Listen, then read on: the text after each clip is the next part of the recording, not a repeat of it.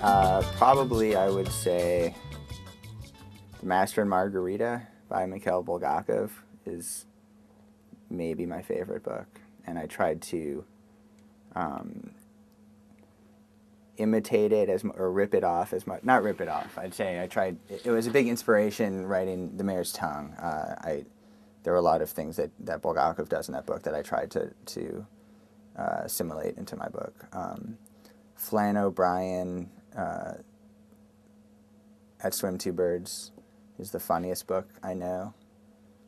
Um, I would include also a Dickens book, but I don't. Um, maybe Bleak House. Uh, that's three. Two more books. Uh, it by Stephen King, which I haven't read since I was in about 17 years or 15 years, but I loved that book a lot when I read it. Um, and I don't know, In Cold Blood, maybe. Uh, I was just rereading part of it, so it's fresh in my mind. But that was, uh, I remember reading that at a young age, and it, it really sticking with me.